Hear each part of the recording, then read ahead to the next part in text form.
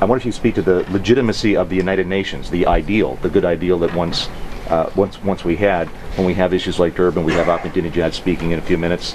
Um, maybe you could speak to the legitimacy of the UN ideal. Well, I think un- unfortunately over the years people have lost the focus on the ideal and it has become a forum for uh, political agendas that are very distant from the aspirations of the framers who wrote the UN Charter.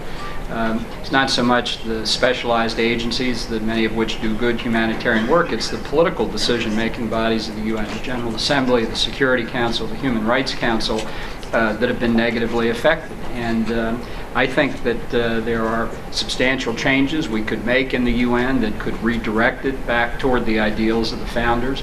Uh, I proposed, for example, abolishing assessed or mandatory contributions and making all funding voluntary would have a remarkably concentrating effect on the intentions of the various UN members. Uh, and I think that would be a good thing because then you would have a stress on performance and outcomes uh, and not the opportunity for political theater, which unfortunately characterizes uh, too much of what the UN does. Thanks. Stuart Engel, the New York Jewish Week. The letter will go in tomorrow from the Palestinians. That'll be a unilateral act. Some are saying Israel should respond unilaterally. What would you suggest?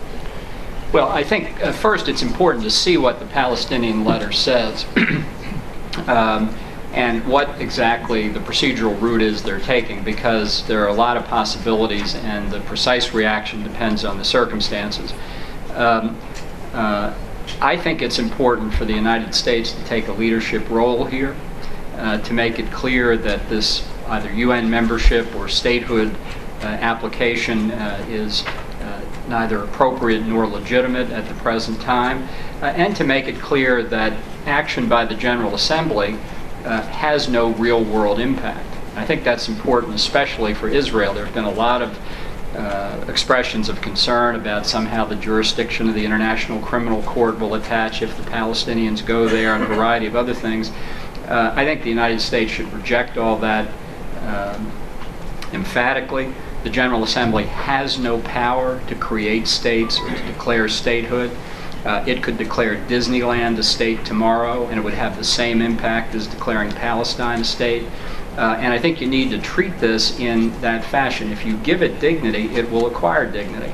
Uh, and so, uh, having said we need to see exactly what they say, that's the general way I would approach it.